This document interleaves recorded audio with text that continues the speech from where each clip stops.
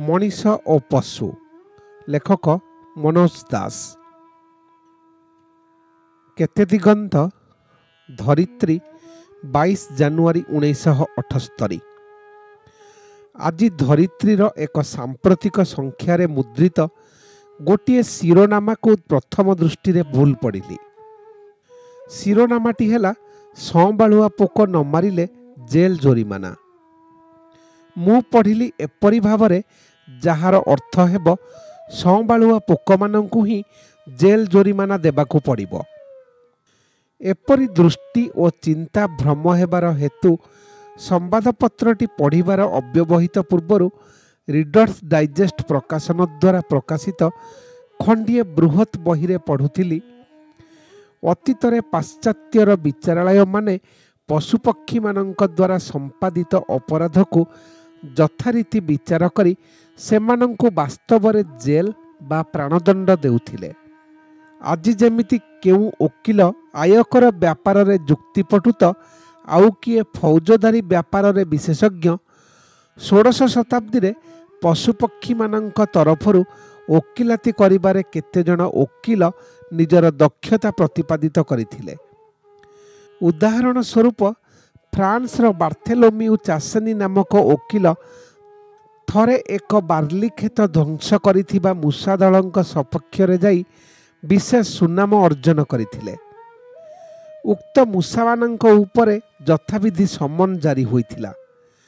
ସାଧାରଣତଃ ଏସବୁ ସମନ ସମ୍ପୃକ୍ତ ପଶୁମାନେ ବସବାସ କରୁଥିବା ଅଞ୍ଚଳରେ ଗଛ ଦେହରେ ଟାଙ୍ଗି ଦିଆ ହେଉଥିଲା ଏବଂ ପିଆଦାମାନେ ପାଟି କରି ଅଭିଯୁକ୍ତ ପଶୁମାନଙ୍କୁ ଚେତାବନୀ ଶୁଣାଇ ଦେଉଥିଲେ।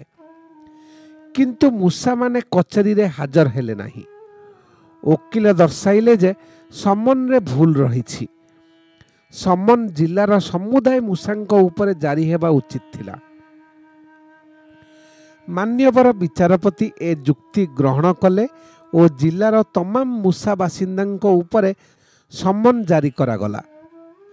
ତଥାପି ମୂଷାମାନେ ହାଜର ହେଲେ ନାହିଁ ସେତେବେଳେ ଓକିଲ ଦର୍ଶାଇଲେ ଯେ ଅଭିଯୋଗକାରୀମାନଙ୍କ ସମର୍ଥକ ଦଳେ ମତଲବବାଜ ବିଲେଇ ବାଟରେ ମୂଷାମାନଙ୍କ ଅନିଷ୍ଟ କରିବାକୁ ପ୍ରସ୍ତୁତ ହୋଇ ରହିଥିବାରୁ ସେମାନେ ଆସିପାରୁନାହାନ୍ତି ଅଭିଯୋଗକାରୀମାନଙ୍କର ପକ୍ଷର ଉକ୍ତ ବିଲେଇମାନେ ତାଙ୍କ ମକବେଲମାନଙ୍କର କ୍ଷତି କରିବେ ନାହିଁ ଏ ଦିଗରେ ଓକିଲ ଶ୍ରୀ ଚାସେନି ଗ୍ୟାରେଣ୍ଟି ଚାହିଁଥିଲେ ସେ ଗ୍ୟାରେଣ୍ଟି ଟଙ୍କା ଆକାରରେ ଜମା ରହୁ ବୋଲି ଦାବି କରିଥିଲେ।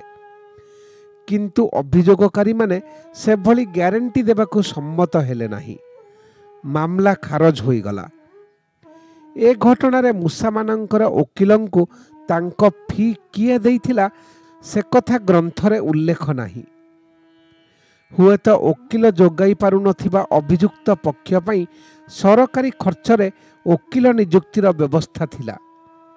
ଚତୁର୍ଦ୍ଦଶ ଶତାବ୍ଦୀରେ ଫରାସୀ ଘୁଷୁରୀମାନେ ରାସ୍ତାଘାଟରେ ଅବାଧରେ ବିଚରଣ କରିବାର ସ୍ୱାଧୀନତା ଉପଭୋଗ କରୁଥିଲେ ଠିକ୍ କିନ୍ତୁ ସେ ସ୍ୱାଧୀନତାର ଅପବ୍ୟବହାର କଲେ ସେମାନଙ୍କୁ ଦଣ୍ଡ ଭୋଗିବାକୁ ପଡ଼ୁଥିଲା ତେରଶହ ଚଉରାନବେ ମସିହାରେ ନର୍ମାଣ୍ଡିରେ ସ୍ୱାଧୀନ ଘୁଷୁରୀଟାଏ ଗୋଟିଏ ଅସହାୟ ମଣିଷ ପିଲାକୁ ଖାଇ ଦେଇଥିବାର ପ୍ରମାଣିତ ହେବାରୁ ତାକୁ ଫାଶୀ ଦିଆ ହୋଇଥିଲା ମଧ୍ୟଯୁଗର ଏହି ରୀତି ଚଳିତ ଶତାବ୍ଦୀ ଯାଏ ଅବ୍ୟାହତ ରହିଥିଲା।